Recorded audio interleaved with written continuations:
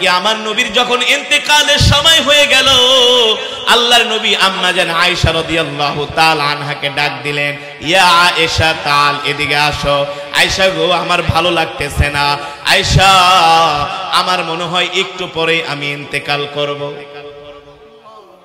আল্লাহর নবী বলতেছেন, আয়েশা, আমি ইন্তেকাল করব। আমার মেসোয়াকটা দাও, কি দাও? আমার মেসোয়াকটা দাও। আল্লাহ নবীকে আম্মাজান আয়েশা রাদিয়াল্লাহু তাআলা আনহা মিসওয়াকটা আগায় দিলেন। নবীজি সুন্দর করে মেসোয়াক করলেন, পবিত্র হলেন, অজু করলেন। অজু করার পরে আল্লাহ নবী শুয়া পড়লেন। শোয়ার পরে আল্লাহ নবী ডাক দিলেন, আইনা আবু বকর, এ আমার বন্ধু আবু বকর, কোথায় আবু বকরকে ডেকে নিয়ে আসো? সাইয়েদনা আবু বকর আল্লাহ নবীর কাছে আসলেন। নবীজি শুয়ে আছে সাইয়েদনা আবু বকরকে দেখে আল্লাহ নবী কেঁদে দিলেন। আর বললেন, ও আবু বকর, একটু পরে আমি ইন্তেকাল করব, এই দুনিয়া ছেড়ে আমি চলে যাব আবু বকর। এই কথা শোনার পরে সাইয়েদনা আবু বকর আমার নবীর কপাল মোবারকের মধ্যে তিনটা চুমু দিলেন। কয়টা চুমু? আমার নবীর কপাল মোবারকের মধ্যে সাইয়েদনা আবু বকর তিনটা চুমু দিলেন। একটু পরে ঘরের দরজার মধ্যে নক করা হলো, ইফতাহিল বাব। আল্লাহর নবী বললেন, ইয়া ফাতিমা, যাও যাও যাও, দরজাটা খুলে দাও। এবার হজরত ফাতেমা রাদিয়াল্লাহু তাআলা আনহা দরজাটা খুলে দিলেন। আল্লাহ নবী জিজ্ঞেস করলেন, ফাতেমা, দরজার সামনে কে দণ্ডায়মান? হজরত ফাতেমা রদিয়াল্লাহ তাআলা আনহা বলেন, ওগো আব্বা জান এতদিন পর্যন্ত আমাদের বাড়িতে যারা আসছে, মোটামুটি সবাইকে আমি চিনি, দেখেছি। কিন্তু আজকে আমাদের ঘরের দরজার সামনে এমন একজন ব্যক্তি দণ্ডায়মান, যার চেহারা আমি আজ পর্যন্ত কোনোদিন দেখি নাই। আল্লাহ নবী বলে, ফাতেমা, তুমি দেখবা কীভাবে? সে যদি কারও ঘরের দরজার সামনে আসে, কোনোদিন খালি হাতে ফিরে যায় না। এই কারণে মুসলমান আল্লাহ রাব্বুল আলামিন কোরআনুল কারীমের মধ্যে বলছে কুল্লু নাফসিন যায়িকাতুল মাউত وإنما توفون أجوركم يوم القيامة فمن زحزح عن النار وأدخل الجنة فقد فاز وما الحياة الدنيا إلا متاع الغرور আল্লাহ রব্বুল আলামিন বলেন, নবী, দুনিয়ার মানুষদেরকে বলে দেন, প্রত্যেকটা প্রাণীকে, প্রত্যেকটা মানুষকে মৃত্যুর স্বাদ গ্রহণ করতে হবে, ঠিক কিনা বলেন? এই পৃথিবীতে কেউ বাঁচতে পারবে না, এই পৃথিবীতে কেউ থাকতে পারবে না। আমরা দুনিয়ার পিছনে দৌড়াই আর মৃত্যু আমাদের পিছনে দৌড়ায়। কথা বলেন কথা বলেন। আমার কথাগুলো যদি লজিক্যাল হয় কোরআন হাদিস অনুযায়ী হয় আমি করব ওয়াজ আপনারা দিবেন আওয়াজ ইনশা রাজি আছেন ওয়াজ শুনতে হবে আমলের নিয়তে আল্লাহকে খুশি করার জন্য আল্লাহর ভয় ঠিক না আমরা দুনিয়ার পিছনে দৌড়াই আর মৃত্যু আমাদের পিছনে দৌড়ায় قل إن الموت الذي تفرون منه فإنه ملاقيكم ثم تردون إلى عالم الغيب والشهادة فينبئكم بما كنتم تعملون আল্লাহ রাব্বুল আলামিন বলে হে দুনিয়ার মানুষ মৃত্যু তোমাদের সাথে সাক্ষাৎ করবে মৃত্যু তোমাদের সাথে মোলাকাত করবে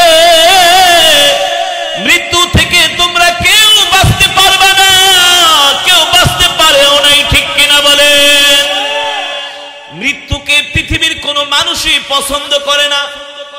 করে। কোন মানুষকে আয়সা যদি বলা হয় তুমি আগামীকাল মারা যাবা।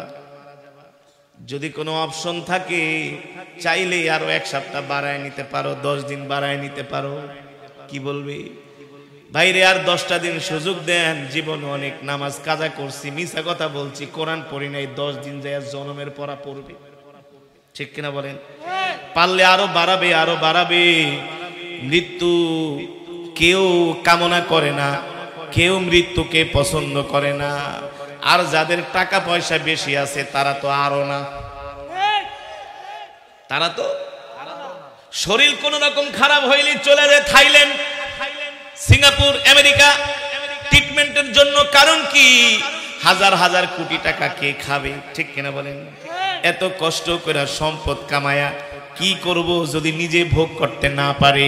এই কারণে কিছু মানুষ বলে, খাও দাও, ফুর্তি করো, দুনিয়াটা মস্ত বড়, বলেন, নাউজুবিল্লাহ। আল্লাহর কসম করে বলি, মমিনের জন্য দুনিয়া না, মমিনের জন্য ফুর্তি করা না, মমিনের জন্য আমদ করা না, মমিনের জন্য এই দুনিয়ায় রং তামাশা করা না। আমাদের আসল বাড়ি তো দুনিয়া নয়, আমাদের আসল বাড়ি হলো জান্নাত। ঠিক না এ যুবক তুমি দুনিয়ার পিছনে দৌড়াইতেছ যতটুকু দ্রুত বেগে মালাকুল মউত তোমার পিছে দৌড়াইতেছে, তার চাইতে আরও দ্রুত বেগে। একদিন তুমি পিস্তা খায়া পড়ে যাবা। মালাকুল মৌতের কাছে তুমি আত্মসমর্পণ করবা, সারেন্ডার করবা, ঠিক কিনা বলেন? এক কদম সামনেও আগাইতে পারবা না রে যুবক। এ যুবক, তোমার বাইক বাইকের জায়গায় থাকবে, তোমার পড়ার টেবিল পড়ার টেবিলের জায়গায় থাকবে, তোমার বাইকের চাবি বাইকের জায়গায় চাবির জায়গায় থাকবে। তোমার জামা কাপড়গুলো হ্যাঙ্গারের মধ্যে ঝুলানো থাকবে। এ ব্যবসায়ী ভাই, আপনার ব্যবসার ক্যাশ বাক্স ক্যাশ বাক্সর জায়গায় থাকবে। আপনি যেই জায়গাটায় বসতেন কোটি কোটি টাকার হিসাব করতেন, সেই জায়গা জায়গায় পড়ে থাকবে। আপনি থাকবেন না, আপনার জায়গার মালিকানা অন্য একজনের হয়ে যাবে। ঠিক কিনা বলেন? এই পৃথিবীর দালান কোঠা, ঘর, বাড়ি, দামি গাড়ি, নারী, শাড়ি গয়নাগাটি কিছুই সাথে যাবে না। সাদা একটা কাপড়ের কাপড় নিয়ে অন্ধকার কবরে যেতে হবে। তুমি যদি হাজার কোটি টাকার মালিক হও, তোমাকে যে কাফনের কাপড় দিয়া দাফন দিবে, একজন রিক্সাওয়ালা গরিব মানুষ মারা গেল, তাকেও একই কাফনের কাপড় দিয়া তোমাকেও বড়ই পাতা দিয়া গরম পানি করবে। ঠিক কিনা বলে? একজন রিক্সাওয়ালা, তরকারিওয়ালা, গরিব মানুষ, ডেলি তিনশো টাকা কামায়, আর তুমি ডেলি এক কোটি টাকা কামাও। লাভ নাই, সবাইকে এক কবরেই যেতে হবে। ঠিক কিনা বলেন? এই পৃথিবীটা বড় আজব জায়গা রে ভাই। এই পৃথিবীটা হলো স্বার্থপরের জায়গা। যতদিন দিবা ভালো, দিবা না ভালো না। যতদিন দিবা, আত্মীয় স্বজন ভাই বোন পাড়া প্রতিবেশী, পরিবারকে যত দিবা, তত তুমি ভালো। একদিন দেওয়া বন্ধ কইরা দাও, তুমি হয়ে যাবে কালো। কথা বলেন? একজন প্রবাসী আমাকে বিদেশ থেকে ফোন করছে, হোয়াটসঅ্যাপে এখনও মেসেজ আছে, এখনও। হোয়াটসঅ্যাপে এখনও মেসেজ আছে। আপনাদের দেশে প্রবাসী আছে কি আছে না? নোয়াখালী আবার প্রবাসী নাই। পুরা- দেশটাই তো নোয়াখালী দখল। সৌদি আরব জেনে যে হুজুর আন্নে আরে চিনেননি আর বাড়ি নোয়াখালী। আই তো আন্নের অনেক বড় ভক্ত হারাদিন কোরআন তেলাওয়া শুনি। অনেক নোয়াখালীর ছেলেরা ফেনি এই অত্র অঞ্চলে আমার অনেক ভক্ত। যার কথা বলছিলাম তার বাড়িও নোয়াখালী একজন ছেলে। গত দুই দিন আগে রাত্রবেলা আমাকে ফোন করে কান্না করতেছে। আমি জিজ্ঞেস করলাম, ভাই, কাঁদো কেন? বলে, হুজুর, মনের দুঃখ কাকে বলব? আমি বলি, কি হয়েছে বলো? বলে, হুজুর, মনের দুঃখ বলার মতো কোনো মানুষ পাই না। আপনাকে ভালোবাসি, আপনার কোরআন তেলাবাস শুনি, বয়ান শুনি প্রতি রাতে আপনার কোরআন তেলাওয়াত শুনি আগে কান্না করতাম, নামাজ ধরছি, এখন থেকে আর নামাজ ছেড়ে দেই না। সকাল, সন্ধ্যা কোরআন তেলাওয়াত করি। হুজুর প্রবাসের মাটিতে আসি মনে অনেক দুঃখ। আমি বললাম, কি দুঃখ? বলে, হুজুর হার ভাঙা পরিশ্রম করি, বারো থেকে আঠারো ঘণ্টা ডিউটি করি, মাস শেষে বেতন পাইলে সাথে সাথে বেতনটা বাড়িতে পাঠায় দেই। এমন করে দুই, তিন বছর ধরে চলতেছে। আজকে হঠাৎ করে আমার পরিবারের একজন লোক আমাকে ফোন করে আমার থেকে টাকা চায়। আমি বলি, এখনও তো মাস শেষ হয় নাই, টাকা থেকে দিব? বেতন পাই না। বলে, অগ্রিম অগ্রিম বেতন উঠায় তাড়াতাড়ি করে পাঠাও। বলে, মাস শেষ হওয়ার আগে তো বেতন দেয় না। কীভাবে টাকা দিব? এই কথা বলার কারণে বলছে, ঠিক আছে, তোর টাকা দেওয়ার আর দরকার নাই। আমরা তোর সাথে কোনো সম্পর্ক রাখব না। তুই আমাদেরকে আর কোনোদিন ফোন দিবি না। বল, হুজুর, বিদেশের মাটিতে এই দুঃখের কথা কাকে বলব?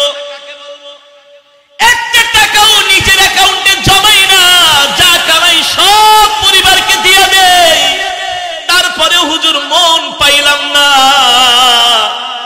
আমি বলি ভাইরে এই দুনিয়াটা হলো একটা স্বার্থপরের জায়গা। সবাই স্বার্থপর, ঠিক কিনা বলেন? একমাত্র তুমি নিঃস্বার্থ পাবা আল্লাহ আল্লাহ রসুল কি যেই রবের নিয়ামত খাই, রবের সাথে নাফরমানি করি, ঠিক কিনা বলেন? যেই নবী আমাদের জন্য এত কষ্ট করছে, এত উম্মাতি উম্মাতি বলে কান্না করছে, সেই নবীর না সেই নবীর কথাও মনে করি না। অথচ নবী, রব্বি হাবিলি ইয়া উম্মতি ইয়া উম্মতি বলে কান্না করতেছে, ঠিক কিনা বলেন? এই দুনিয়ার সবাই স্বার্থপর। যতদিন দিবা, ততদিন ভালো। দিবা না তো ভালো না রে ভাই। এ ভাই, এই দুনিয়ার পেছনে তোমার এত কষ্ট করে লাভ কি? হারাম কামায়া লক্ষ লক্ষ কোটি কোটি টাকা কামাইবা। তোমার সম্পদের হিসাব তোমার স্ত্রীও দিবে না, তোমার সন্তানও দিবে না। তোমার সম্পদের হিসাব তোমার মাও দিবে না, তোমার বাবাও দিবে না। তোমার সম্পদের হিসাব তোমাকেই দিতে হবে। না হয় দিন রাত খাটাখাটনি করে লক্ষ লক্ষ কোটি কোটি টাকা কামাইলা। কিন্তু তুমি তো জানো না যে কোনো সময় মালাকুল মৌত এসে তোমাকে আমাকে পাকড়াও করতে পারে। এই যে মঞ্চে বৈশা বয়ান করতেছি, এই মঞ্চ থেকে নামতে পারব কিনা কোনো গ্যারান্টি নাই। আপনারা মাহফিল শোনার জন্য আসছেন, বাড়িতে যেতে পারবেন কিনা কোনো গ্যারান্টি নাই। আছে? ইদা জা আজালুহুম লা ইস্তাখিরুনা সাআতাও ওয়া লা ইস্তাকদিমুন আল্লাহ রাব্বুল আলামিন প্রত্যেকটা মানুষের একটা নির্ধারিত হায়াতের জিন্দেগি দিয়া দুনিয়াতে পাঠাইছে, ঠিক কিনা বলেন?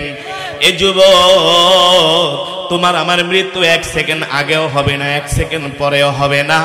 যতক্ষণ পর্যন্ত আল্লাহ আমাদেরকে হায়াত দিয়েছেন, ততক্ষণ পর্যন্ত এই পৃথিবীর জমিনে থাকতে পারব। হায়াতের জিন্দেগি শেষ হয়ে গেলে পৃথিবীর কোন রাজা বাদশাহ এই পৃথিবীর জমিনে আমাদেরকে রাখতে পারবে না। পারবে? এমনকি আল্লাহ রাব্বুল আলামিন আমার নবীর কাছে জিব্রাইলকে পাঠাইছেন। কাকে? জিব্রাইলকে পাঠাইছেন। জিব্রাইল আইসা বলে, ও মোহাম্মদ, ইয়া মোহাম্মদ, শোনেন, আল্লাহ তাআলা আমাকে আপনার কাছে পাঠাইছি। যতদিন ইচ্ছা ততদিন আপনি দুনিয়াতে থাকতে পারেন। কে বলছেন? ইন্নাকা মাইয়িতু ওয়া ইন্নাহুম মাইয়িতুন। ইন্নাকা মাইয়িতু ওয়া ইন্নাহুম মাইয়িতুন। এ যুবক কথাটা ভালো করে খেয়াল করো বন্ধু। আজকে যৌবনের তাড়নায় শরীরে শক্তি আছে। দুনিয়ার কোনো কিছুকেই কোনো কিছু মনে হয় না। ঠিক না? এই শক্তি থাকবে না রে দোস্ত। কিছুদিন পরে এই চুলগুলো কালো হয়ে যাবে। একটা একটা কইরা পাকা শুরু করবে।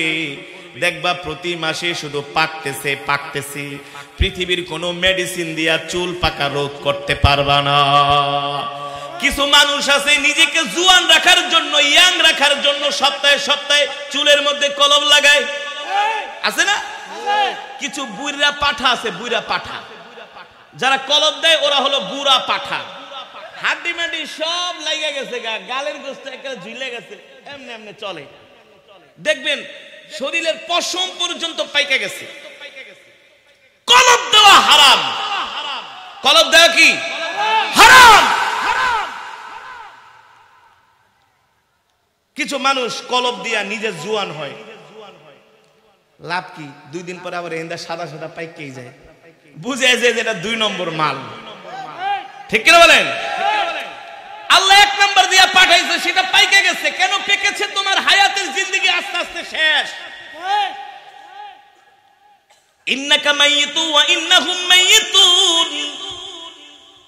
হায়াতের জিন্দগি শেষ হয়ে গেলে কেউ থাকতে পারবে না, ঠিক কিনা বলেন? আগে তোমার বয়স যখন চল্লিশের আগে ছিল, তখন তুমি দুই, তিন প্লেট ভাত খাইতা। চল্লিশের পরে কিন্তু আর এক প্লেটও মজা লাগে না। পঞ্চাশ ষাট হয়ে গেলে রাত্রবেলা খাইতেও মন চায় না। অথচ ওই রাত্রে দুই তিনবার না খাইলেও ঘুম আসে না। ঠিক কিনা বলেন? রাত্রবেলা বেশি খাইলে যারা ষাট সত্তর বছরের মানুষ, যারা বৃদ্ধ আছেন, এই মজমার মধ্যে রাত্রবেলা খাইলেও ভালো করে খাওয়া হজম হয় না। আগে তিন প্লেট খাইতো, এখন রাত্রেবেলা একটু মুড়ি দাও, একটা বিস্কিট দাও। কথা বল। কাই, মুড়িও নেই বিস্কিট লাগবে না, এক গ্লাস পানি দাও। কারণ কি? কারণ কি? বয়স যত হয়, শরীরের পার্সগুলো দুর্বল হয়ে যায়। আগের মতো কাজ করে না, ঠিক কিনা বলে? ও যুবক, এই চুলগুলো পেকে যাবে, শরীরের চামড়াগুলো ঘুচিয়ে যাবে, শরীরের পার্সগুলো আস্তে আস্তে করে দুর্বল হয়ে যাবে রে যুবক। যখন চুল পাকা শুরু হবে, তখন মনে করবা, আস্তে আস্তে করে মৃত্যুর টিকিট আসতেছি। ঠিক কিনা বল? এই কারণে আল্লাহ রাব্বুল আলামিন জিব্রাইল আলাইহিস সালামকে আল্লাহর নবীর কাছে পাঠাইছে, যিনি হলেন দোজাহানের বাদশা পৃথিবীর শ্রেষ্ঠ মানুষ। পৃথিবীর শ্রেষ্ঠ মানুষ, শ্রেষ্ঠ পয়গম্বর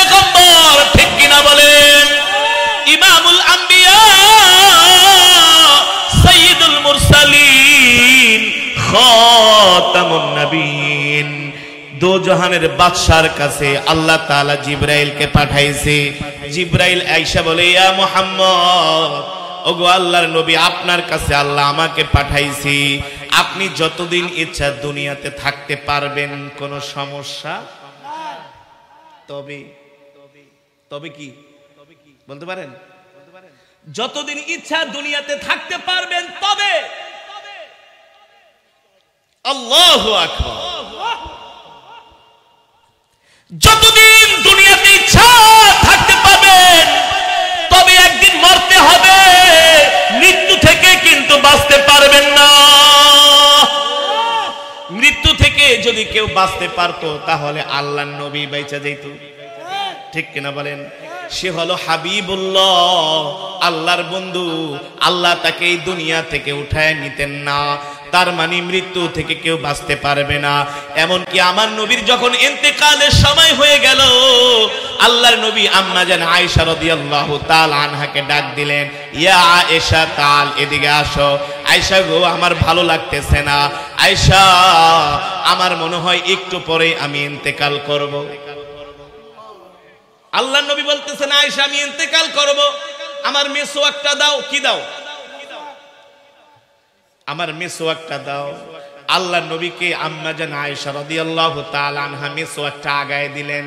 নবীজি সুন্দর করে মেসোয়াক করলেন, পবিত্র হলেন, অজু করলেন। অজু করার পরে আল্লাহ নবী শুয়া পড়লেন। শোয়ার পরে আল্লাহ নবী ডাক দিলেন, আইনা আবু বকর, এ আমার বন্ধু আবু বকর, কোথায়? আবু বকরকে ডেকে নিয়ে আসো। সাইয়েদেনা আবু বকর আল্লাহ নবীর কাছে আসলেন। নবীজি শুয়ে আছে। সাইয়েদেনা আবু বকরকে দেখে আল্লাহ নবী কেঁদে দিলেন। আর বললেন, ও আবু বকর, একটু পরে আমি ইন্তেকাল করব। এই দুনিয়া ছেড়ে আমি চলে যাব আবু বকর। এই কথা শোনার পরে সাইয়েদেনা আবু বকর আমার নবীর কপাল মোবারকের মধ্যে তিনটা চুমু দিলেন। কয়টা চুমু? আমার নবীর কপাল মোবারকের মধ্যে সাইয়েদেনা আবু বকর তিনটা চুমু দিলেন। একটু পরে ঘরের দরজার মধ্যে নক করা হলো, ইফতাহিল বাব। আল্লাহ নবী বললেন, ইয়া ফাতিমা, যাও যাও যাও। দরজাটা খুলে দাও। এবার হজরত ফাতেমা রদিয়াল্লাহ তালা আনহা দরজাটা খুলে দিলেন। আল্লাহ নবী জিজ্ঞেস করলেন, ফাতেমা, দরজার সামনে কে দণ্ডায়মান? হজরত ফাতেমা রদিয়াল্লাহ তালা আনহা বলেন, ওগো আব্বা জান এতদিন পর্যন্ত আমাদের বাড়িতে যারা আসছে, মোটামুটি সবাইকে আমি চিনি, দেখেছি। কিন্তু আজকে আমাদের ঘরের দরজার সামনে এমন একজন ব্যক্তি দণ্ডায়মান, যার চেহারা আমি আজ পর্যন্ত কোনোদিন দেখি নাই। আল্লাহ নবী বলে, ফাতেমা, তুমি দেখবা কীভাবে? সে যদি কারও ঘরের দরজার সামনে আসে, কোনোদিন খালি হাতে ফিরে যায় না। এই কথা শোনার পরে হজরত ফাতেমা কান্না করে দিলেন। আল্লাহ নবী বলল, ফাতেমা, কেঁদো না কেঁদো না।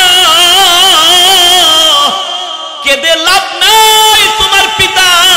এই পৃথিবীতে চিরদিন থাকতে পারবে না। কারণ আল্লাহ তাআলা আমাকে সৃষ্টি করে জিব্রাইলকে আমার কাছে পাঠায় বলছে, ইয়া মোহাম্মদ, ও আল্লাহর নবী, আপনি যতদিন চান পৃথিবীতে থাকতে পারবেন, তবে একদিন না একদিন আপনাকে পৃথিবী ছেড়ে যেতে হবে। শুধু আপনি না, আপনি যাদের সাথে বন্ধুত্ব করবেন, তাদেরকেও আপনার ছেড়ে যেতে হবে। তার মানে এই পৃথিবীতে কেউ চিরদিন থাকতে পারে নাই, পারবেও না। ঠিক না? পারবে? এবার জিব্রা যখন মালাকুল মউত আজরাইল আল্লাহর নবীর কাছে আসলেন, এই পৃথিবীর জমিনে একজন মাত্র পয়গম্বরের কাছে মৃত্যুর অনুমতি চাইলেন। তিনি হলেন আপনার আমার কলিজার টুকরা নবী। আল্লাহু আকবার। মালাকুল মউত আজরাইল আয়েশা বলে, ওগো আল্লাহর নবী, আল্লাহ তাআলা আপনাকে সালাম দিয়েছেন। সুবহানাল্লাহ। আল্লাহ তাআলা আপনাকে এতটুকুন এখতিয়ার দিয়েছেন, আমি আপনার জান কবজ করার জন্য আসছি। যদি অনুমতি দেন, আপনার জান আমি কবজ করব। আর যদি অনুমতি না দেন, আমি খালি হাতে ফিরে যাব। খালি হাতে ফিরে যাব, তার মানিও মরতে হবে।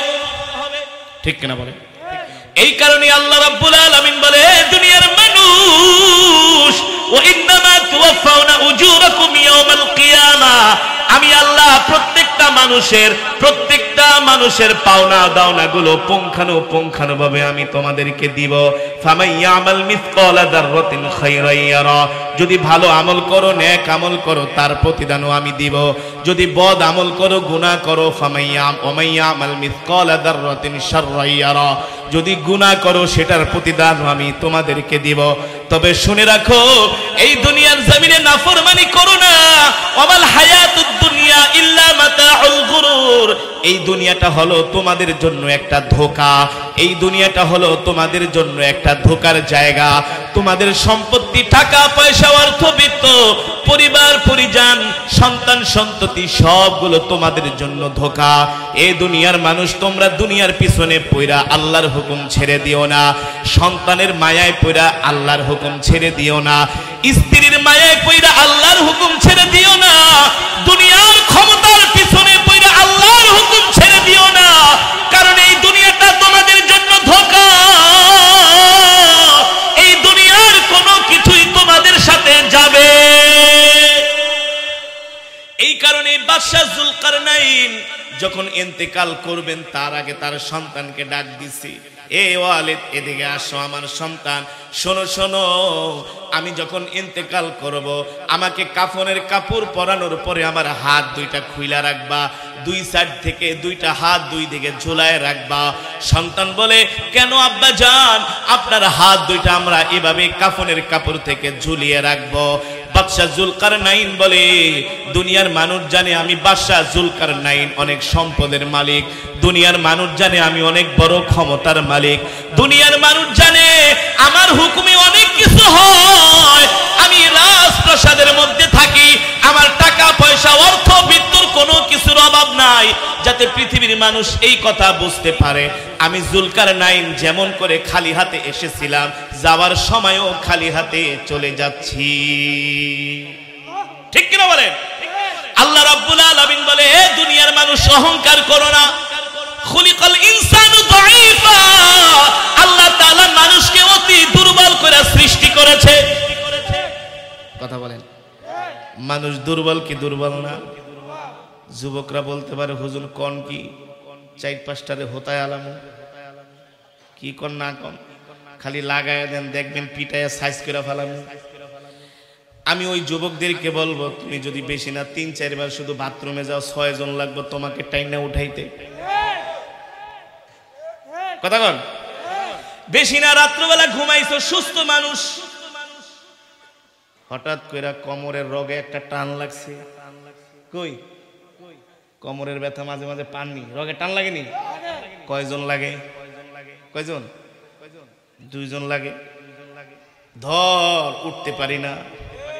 বাথরুমে নিতে লাগে দুইজন, নামাইতে লাগে দুইজন, লুঙ্গিটাও ঠিক মতো পড়তে পারে না। বেকা হইয়া থাকে। বেকা হন কে কয়, সুস্থ মানুষ ঘুমাইছি, রগ একটা টান খাইছি। রাত্রবেলা শুয়ে আছেন, ঘাড়ের রগ একটা টান খেয়েছে, সুস্থ মানুষ এক রক টান খাওয়ার পরে আর ঘাড়টাকে সোজা করতে পারেন না। জোরে বলেন। খলিকল ইনসান দাইফা মানুষ অতি দুর্বল, কেমন দুর্বল? আল্লাহ রাব্বুল আলামিন বলে, এ দুনিয়ার মানুষ, ওয়ামা তাদরি মাযা তাকসিবু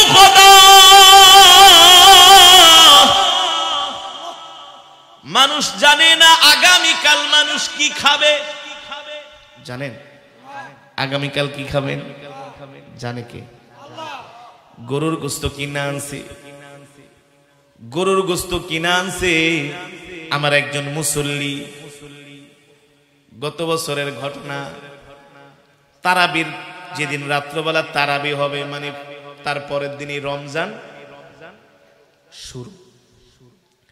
গরুর গোস্ত কিনে এনে তার স্ত্রীকে বলতেছে, গোস্তগুলো ভালো করে ভুনা করবা। রাত্রে তো সেহেরি খেতে হবে। আগামীকাল থেকে রমজান শুরু। গোস্ত ভুনা করে রাখছে। সেহেরি খাবে, ভোর রাত্রবেলা উঠে। তারাবির নামাজ পড়ে আইসা ঘুমাইছে। সেহেরির সময় ডাক দেয়, ওঠেন ওঠেন। প্রথম রমজান, ওঠেন ওঠেন, রোজা রাখার জন্য ওঠেন। মসজিদের মাইক থেকে এলান হচ্ছে। আর ঘুম থেকে উঠে না। ওই ঘুমের মধ্যেই আল্লাহর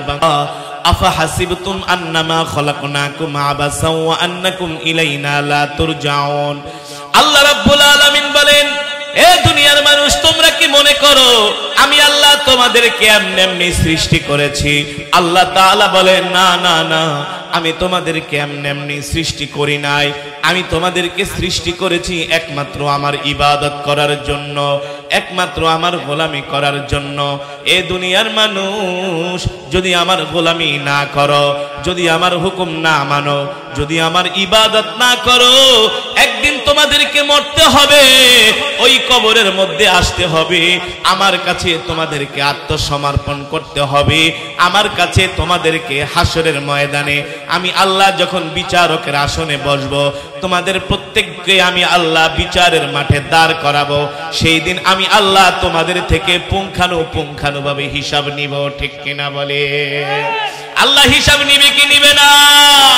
মনে করো না, যুবক, মুসলমান! আল্লাহ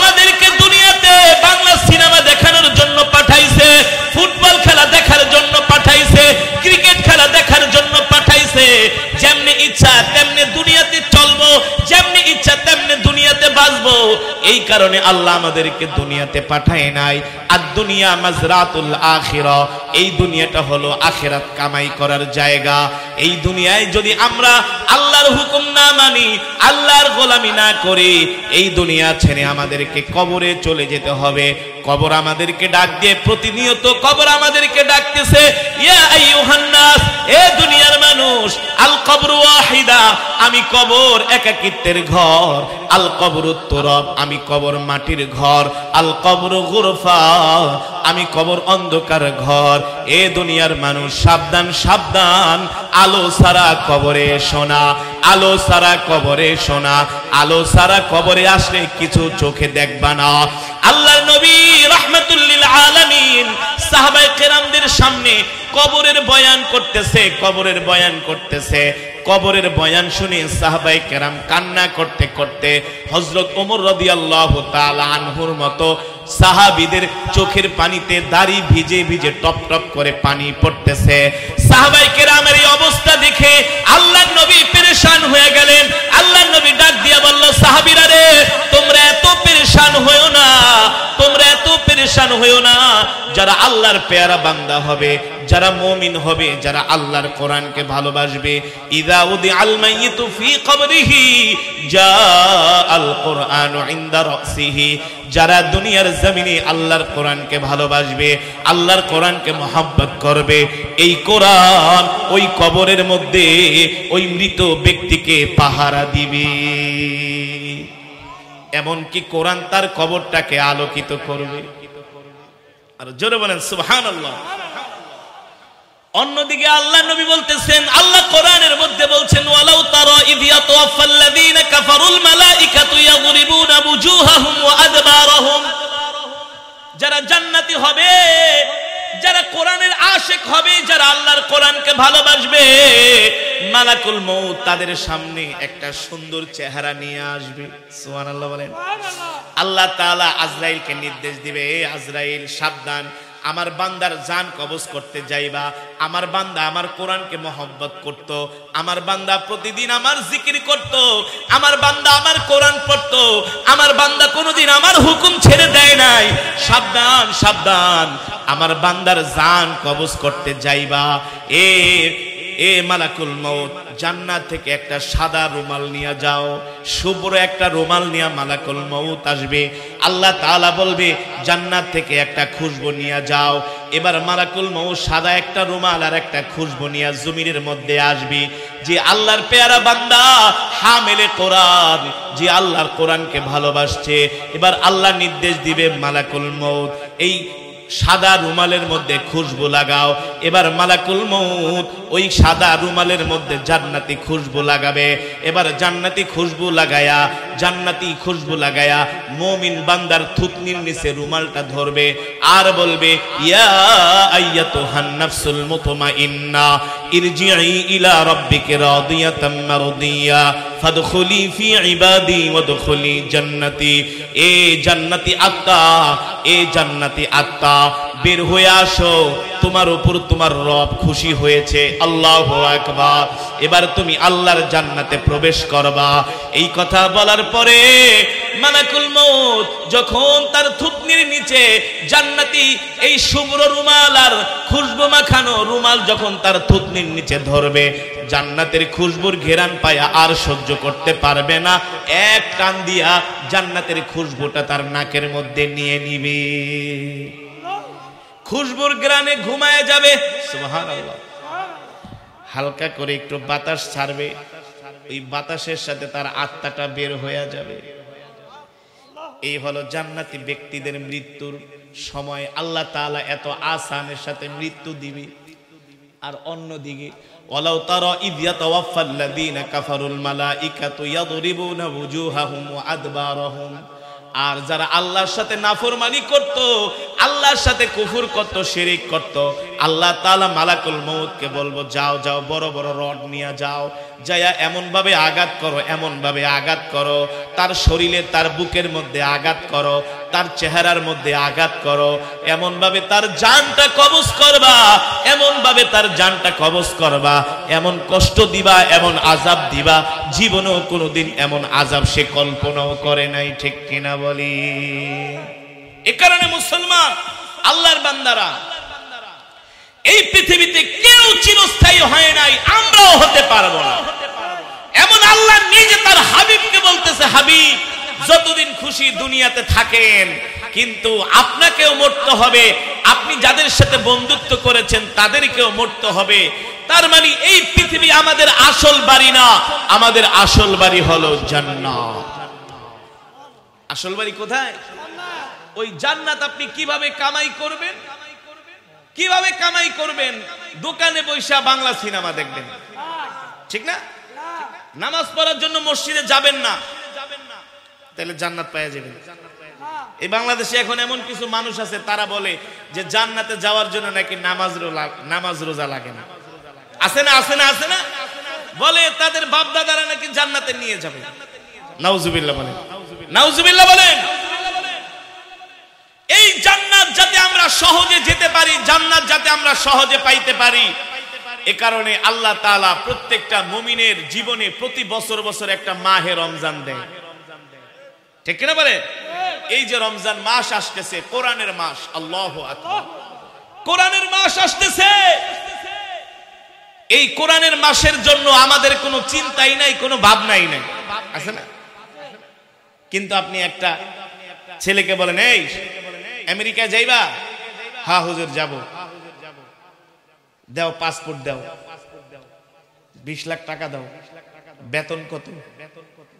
যদি বলেন, আমেরিকায় তোমাকে আমি পৌঁছায় দিব, তোমাকে একটা চাকরি দিয়ে দিব। প্রতি মাসে তুমি সত্তর হাজার ডলার পাইবা। কত হাজার? ওই ছেলেটাকে রাত্রেবেলা ঘুমাইব। আমেরিকা না যাওয়া পর্যন্ত আর ঘুম আসবে? চাকরি না পাওয়া পর্যন্ত আর ঘুম আসবে? কারণ বেতন কত? সত্তর হাজার। বেতন কত? ডলার। সত্তর হাজার ডলার মানে কি? কত লক্ষ বলতে পারেন? কত লক্ষ? কত? সত্তর হাজার ডলার, বর্তমানে সত্তর লাখ। কারণ বাংলাদেশে এখন এক ডলার একশো টাকার উপরে। একশো টাকার? একশো টাকার উপরে। এক ডলার। তাহলে এক হাজার ডলারে এক লাখ টাকার উপরে। সত্তর হাজার ডলার মানে সত্তর লাখ। ঘুমাইব না। কবে আমেরিকায় যাব, কবে ভিসা পাবে, কবে বিমানের টিকিট কাটবে, শুধু এই চিন্তা। ঠিক কিনা বলেন? কিন্তু আল্লাহ তাআলা আমাদেরকে জান্নাতে যাওয়ার জন্য, তুমি সত্তর লক্ষ কেন, সত্তর কোটি কেন, সত্তর হাজার কোটি টাকাও যদি তুমি মাসে কামাও, তারপরও তো এই দুনিয়ার কোনো গ্যারান্টি নেই। দুনিয়ার কোনো সিকিউরিটি নেই যে কোনো সময় মরতে হবে, ঠিক কিনা বলেন? কিন্তু রব মরার পরে এতেকালের পরে আমাদেরকে যেই জান্নাত দিবে, ওই জান্নাত থেকে আমাদেরকে আর কোনোদিন বের করা হবে না। এক একজনের জান্নাত হবে দশ দুনিয়ার সমান। কয় দুনিয়া?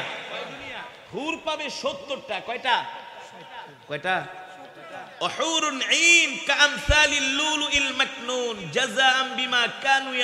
আল্লাহর কোরআন বলতেছে হুর এত সুন্দর হবে, তাদের চোখগুলো এত সুন্দর হবে। মনে হবে যে ঝিনুকের মধ্যে মুক্তাগুলো লুকাইত ঠিক কিনা বলে যাদেরকে কোনো দিন, কোনো জিন, কোনো মানুষ স্পর্শ করে নাই, এত সুন্দর হবে হুরদের দেখতে। আল্লাহ নবী যখন মেয়েরাজ করে আসলেন, নবীজি সাহাবিদের সামনে হুরের আলোচনা করতেছে। সাহাবাই কারাম বলে আল্লাহ নবী, আপনি জান্নাতে হুর দেখছেন? নবীজি বলে হ্যাঁ। আমি জান্নাতে হুর দেখেছি, একটা হুরের দিকে শুধু আমার একটা পলক পড়েছে। আমি লজ্জায় আমার চোখ, আমি আমার নজরকে অন্যদিকে ঘুরাই দিছি, অবনত করে ফেলেছি। কেন? বলে জান্নাতের হুর এত সুন্দর। সুবাহান জান্নাতের হুরগুলা যদি একবার দুনিয়ায় তাকাইয়া হাসি দিত, দাঁতের আলোতে পুরা দুনিয়াটা আলোকিত হয়ে যেত।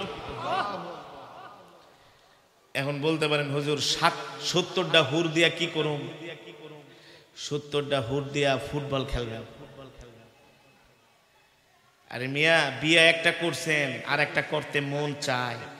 টাকা পয়সা, বাড়ি গাড়ি যখন অডেল সম্পদ থাকে, তখন বিয়ে আর একটা করতে কথা কন কথা কন। চাই কি চায় না?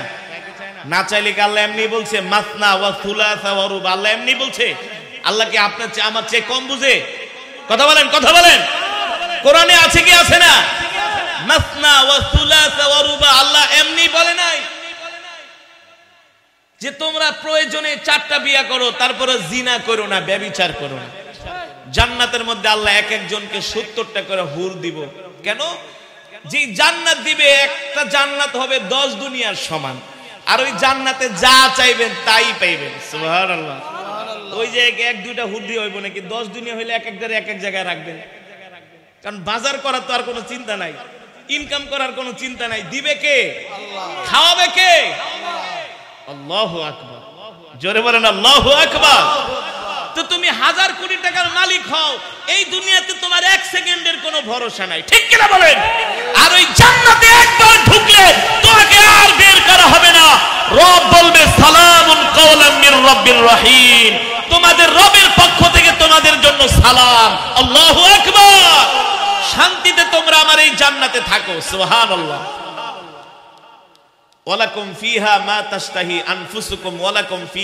তাদদাউন। শুধু কল্পনা করবেন, কল্পনা, আল্লাহ আমার এটা দরকার। সাথে সাথে আল্লাহ হাজির করে সাথে সাথে আল্লাহ হাজির করে দিবে।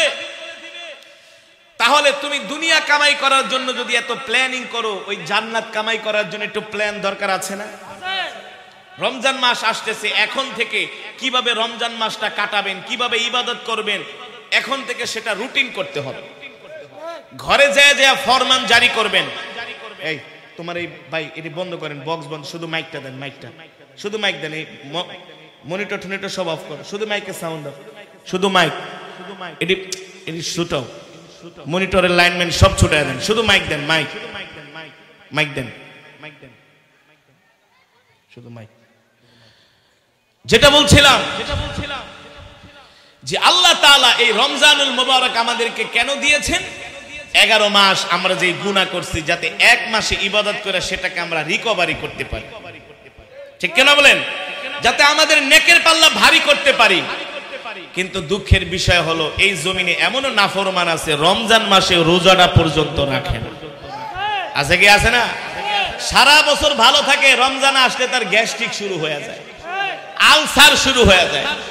রোজা রাখো না কেন? কয়, ভাই, ওষুধ না খাইলে, না খাওয়া দাওয়া করলে আমার গ্যাস্ট্রিকের ব্যথা শুরু হয়ে যায়।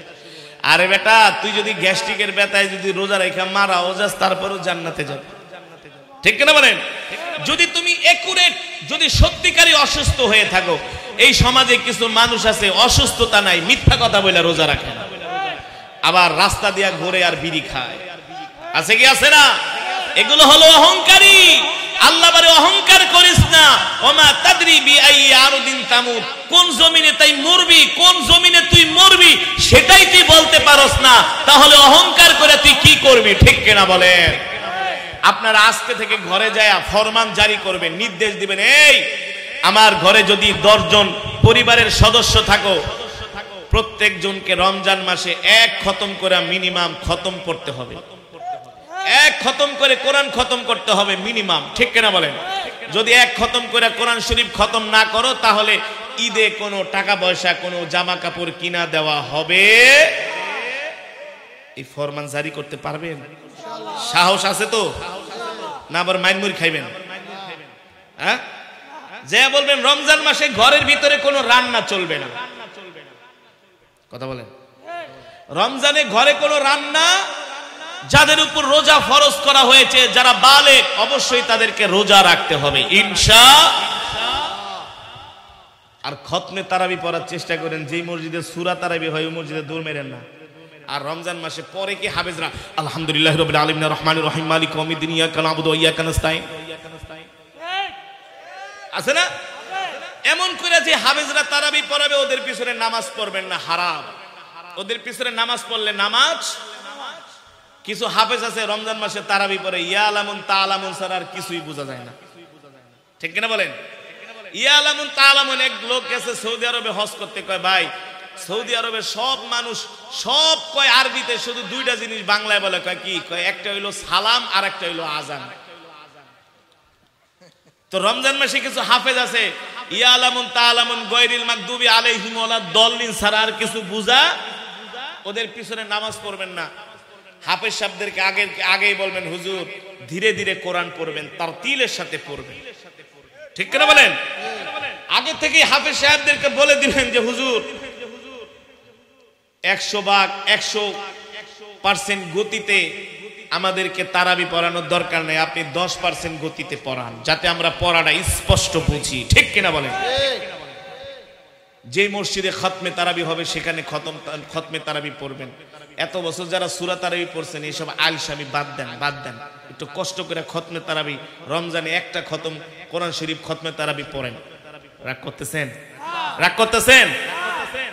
পুরা এগারো মাসেই তো দশ সুরা দিয়ে নামাজ পড়েন, রমজান মাসটা একটু কষ্ট করেন না? কুমু রমজান মাস আসার আগে সাহাবীরা ছয় মাস আগের থেকে প্রস্তুতি নিতেন। আর আমরা প্রস্তুতি নেই, কি প্রস্তুতি? এদেশের ব্যবসায়ীরা। কীভাবে করে নিত্য পণ্যের দাম বাড়ানো যায়। ঠিক না? যারা রমজান মাসে সিন্ডিকেট কইরা নিত্য পণ্যের দাম বাড়ায়, এই অত্র অঞ্চলে যারা খুচরা ব্যবসায়ী, আসলে দোষ তাদের না। মেন হলো ওই খাতুনগঞ্জে, ঢাকার বাদাম বাদামতলিতে, শ্যামবাজারে, যারা রমজান মাসে রোজাদারদেরকে কষ্ট দেয় সিন্ডিকেট করে যারা নিত্য পণ্যের দাম বাড়ায়, এই সবগুলা হলো হারাম জানা রোজাদারদেরকে যারা কষ্ট দেয়, এদেশের মানুষ, আমরা এমনি গরিব মানুষ। রমজান মাস আসলে পেঁয়াজের দাম বাইরে যায় সোলার দাম বাইরে যায়, চিনির দাম বেড়ে যায়, তেলের দাম বেড়ে যায়। ঠিক কিনা বলেন? ডালের দাম বেড়ে যায়, চিরার দাম বেড়ে যায়। ফার্মের মুরগিও আড়াইশো টাকা কেজি বানায় ফেলাইছে। রমজানে যে কি করে আল্লাহ ছাড়া কেউ জানে না। এই হলো আমাদের দেশের অবস্থা। সারা পৃথিবীতে এলো এক নিয়ম, আর এই বাংলাদেশ তো ডিজিটাল দেশ। আমরা তো এখন ডিজিটাল হয়ে গেছি এই কারণে আমাদের দেশে হলো আরেক নিয়ম। সারা পৃথিবীতে যাবেন, রমজান মাসে সবকিছুর দাম কমায় দেয়, আর বাংলাদেশে আইলে বাড়ায় দেয়। যত পারস এক মাস ব্যবসা কইরা নেই। অথচ এই কথা বলা উচিত ছিল যে পুরা এগারো মাস তো আকাম উকাম যা করার করছস, রমজান মাসটা একটু ইবাদত কর।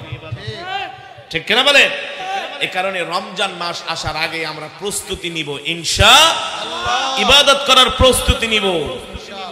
যাতে করে মিনিমাম মিনিমাম এক খতম কোরআন শরীফ, কোরআনুল করিম আমরা রমজানে খতম করতে পারি, আগ থেকে সেই মন মানসিকতা আমরা তৈরি করব।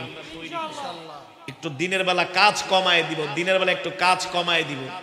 ইবাদত করব, তাহাজ্জুদ পড়ব, নফল পড়ব। নফলের সোয়া ফরজের সমান, রমজানুল মুবারকে। আল্লাহু দুঃখী দরিদ্রদেরকে আমরা ইনশাআল্লাহ তাদের ইফতার সাহারির ব্যবস্থা করব। কি বলেন? নবী আলাইহি সাল্লাম রমজান মাস আসার আগে সাহাবিরা মনে হতো যে ইবাদতের একটা আবহ তৈরি হয়েছে, একটা আমেজ তৈরি হয়েছে।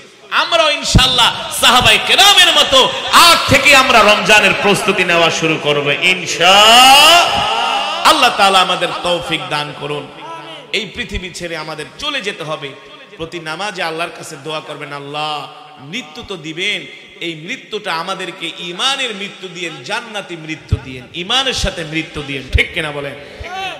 রসুল করিম সাল্লাহ সাল্লাম বলছেন, উম্মত, তোমরা বেশি বেশি মৃত্যুর কথা স্মরণ করবা। আকফিরো দিক মানুষ মৃত্যুর কথা স্মরণ করলে দুনিয়ার সমস্ত স্বাদ নষ্ট হয়ে যায়।